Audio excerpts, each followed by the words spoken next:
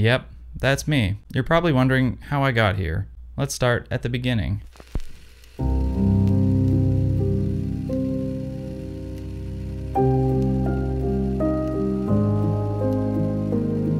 Today's episode is sponsored by Squarespace. Fuji Pro 400H.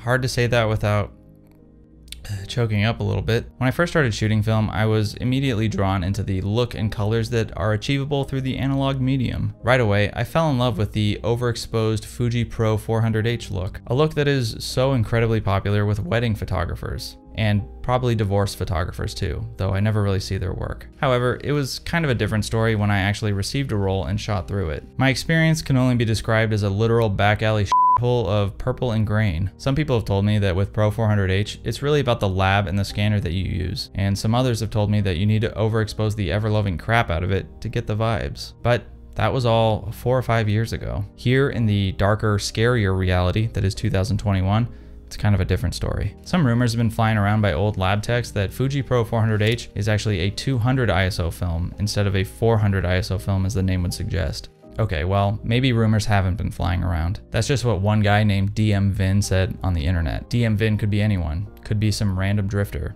or it could be Vin Diesel himself. Now you might think Pro 400H is painfully derivative. Portra 400 exists, and that slaps. But I would almost agree with Vin Diesel. I did a one-to-one -one test comparing Portra 400 and Fuji Pro 400H, and at box speed, 400H was not that great. It really seemed to perk up though with one stop of overexposure, like how some people drink coffee in the morning to get them going, or I drink a big gulp filled with 5 hour energies and just lay on my bed vibrating uncontrollably. Either way, I was never really fully committed to Fuji Pro 400H, but when that dark, unspeakable day happened, I was somehow distraught. The weeks following were pretty tough for me. I couldn't sleep, couldn't shower, couldn't look at a roll of film without thinking it might leave me too. I guess this means I have abandonment issues now. Luckily, I had some Pro 400H in the freezer before the price surged, and I was saving it for something special, or just a crazy weekend bender in Vegas, whichever came first. Well, Monica and I rarely get any time off together, so we hopped on the first flight out to Denver, Colorado to visit some college friends that we haven't seen in a while.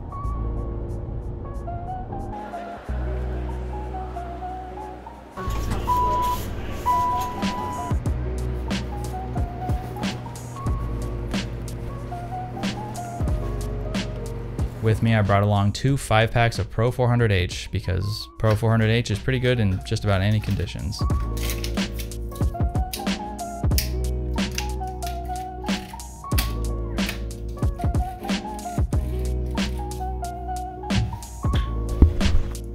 Forty-five dishes to eat right now. All right, but I don't really think I'm that hungry. With an hour or two to kill, we wandered around downtown Denver, and you can bet your analog ass that everyone was pretty impressed by the Mamiya 7 that I was wielding. Just kidding, no one gave a shit. Except for this guy eye banging me in the corner.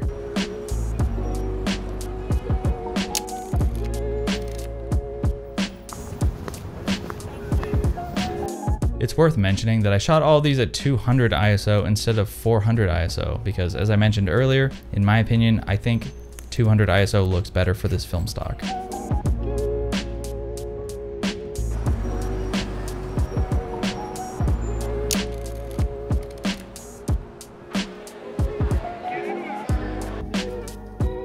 So first, third, or 40th impressions of Fuji Pro 400H.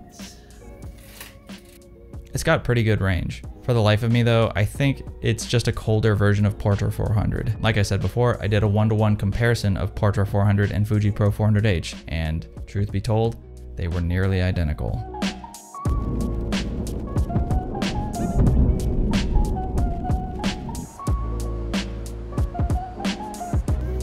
Later that evening, we went to dinner and a comedy show, but called it a night afterwards because we were pretty jet lagged, even though it's only a one hour difference.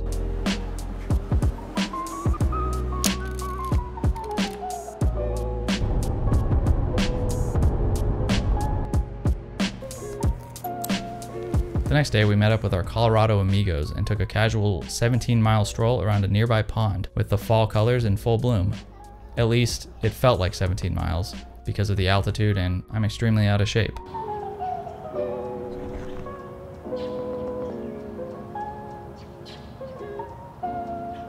These photos are pretty cool, both temperature and opinion wise, but there's just something about 400H that overall I'm not that into. I can't quite place it. Maybe I just need to break free of Portra 400's spell over me.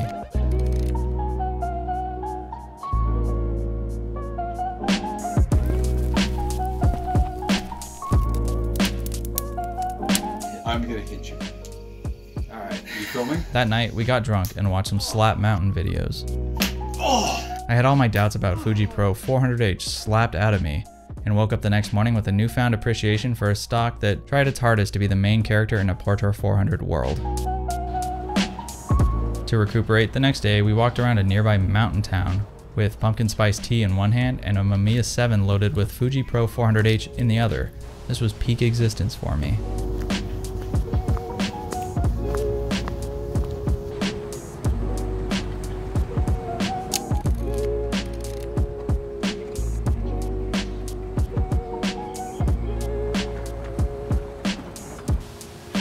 This shot is the perfect example of Pro 400H's bias towards the cool side. The scene was quite warm and purple, but Pro 400H slapped a load of green and blue into the image, though I think that the colors still pop very nicely and overall the image still feels very balanced. The general consensus around this stock is that it is built for the color green, so if you have some dead plants lying around your apartment, your window of opportunity is over. Everyone always talks about the mystical Fuji greens, which yeah, I mean, they are in a league of their own. Most film scanners that I use will actually scan your Pro 400H with a slight purple cast. From there, it's up to you. You can correct for it by injecting a little bit of green. What people really should be focusing on are the Fuji Reds. They are vibrant, in your face, and completely unapologetic. I've been very fortunate to shoot lots of different Fuji film stocks over the years, and one thing that seems continuous across all of them are the reds. They're redder than half my face was that day. Anyway, it was time to see some rocks that were just as happy to see me as I was to see them, if you catch my drift. At the Garden of the Gods, for once in my sad, pathetic life, I actually wanted to shoot Ektar 100 for some nice landscapes. However, Fuji Pro 400H would have to suffice. You know what? I think it held up pretty well.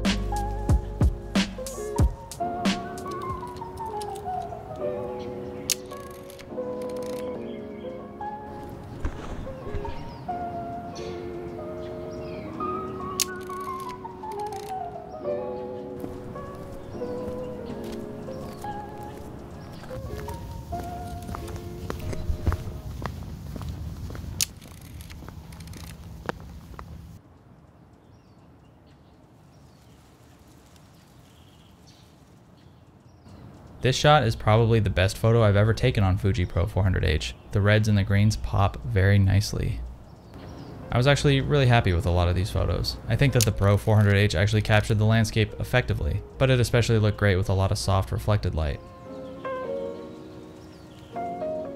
So it might also be worth talking about how this stock has this legendary fourth color layer that made it unique. To my understanding, most color films have a red, green, and blue light sensitive layer, which when added together make a full color negative image. Or, in my case, a bad photo which makes me question why I even bother. Now the fourth layer that Pro 400H had was supposedly a cyan sensitive layer that was jammed in between the red and the green layers. This is interesting because it might explain why Fuji Pro 400H renders a bit bluer and greener overall. Additionally, some some people speculate that the fourth color layer was there to mitigate any strange color casts when shooting under artificial light, which could potentially make Fuji Pro 400H the Grammy Award winning sleeper hit of the decade for night photography. But I'm definitely too scared to use my own dwindling supply to find out. According to the Pro 400H datasheet, this fourth color layer helps produce more natural looking shadows and a more three dimensional look.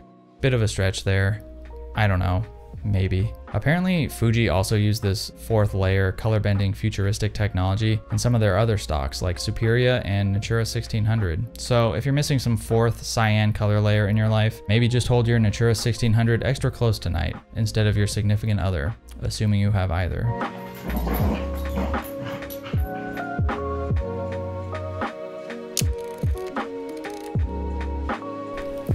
Anyway, the next day was going to be our last, and we took a stroll around a nearby park, trying to remember the good old days of Fuji Pro 400H and all the laughs we shared together, like the fact that it had the pre-stickied end of the roll sticker.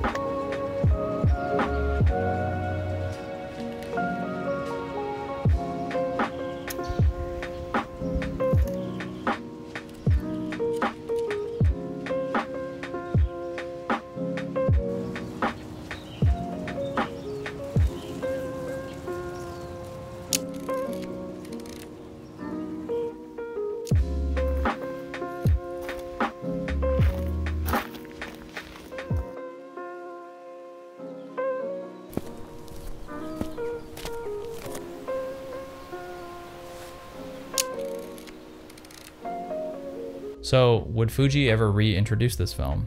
I wouldn't count on it. Fuji hasn't really made it obvious that they're interested in continuing their line of film stocks aside from Instax. But then there's Fuji Acros, a black and white film that was discontinued, and then soon reintroduced as a reformulated Acros 2, Acros Harder. Though conjecture would have you believe that Ilford actually makes that stock for Fuji these days. A lot of people are hopeful that Pro 400H will make a similar return, maybe rebranded with a new formula, but me, I'm skeptical. I think you can probably get pretty much the same look by overexposing Portra 400 or even Portra 800. There really isn't much of a need for Pro 400H, at least in my own work. Anyway, our time in Colorado with our friends was up and I would be departing with just the right amount of brain damage I would have expected from such a trip. Baxter? Is that you, my boy? Baxter? On the plane ride home, I thought about none other than Squarespace and how I'd like to thank them for being today's sponsor. Are you looking to build your dream website, but you don't know how to code? Well, then look no further. Whether your website is about photography, the culinary arts, or even just simply cat based interior decorating, Squarespace has the building blocks for you. Squarespace has a very large inventory of pre designed templates professionally crafted and ready for you to lay the foundation of your website. The user interface is very straightforward and non threatening. The modules to build your website allow you to build your pages with ease, but if you do run into a snag, Squarespace offers 24 7 award winning customer support and an online forum for specific inquiries or design feedback. Plus, if you do know how to code, there's even a section for that. So what are you waiting for? If you're ready to build a website, you can start a free trial today at squarespace.com slash grainydays. And if you use the code grainydays at checkout, you can get 10% off your first purchase. Anyway, I like Fuji Pro 400H. I would say that the results aren't always what I'm expecting, but now that it's gone, I guess I have more of a appreciation for it. The canceling of Pro 400H was both good and bad. Bad because it's one less stock for us to nerd out over, and is somewhat of a dark omen that signifies the total collapse of film photography. But good because it made us realize that we're lucky to have what we have and also realize that Portra 400 is basically the same. So if you're drinking tonight, be sure to pour one out for Pro 400H. I'm gonna go make a microwave pizza and then cry while eating it.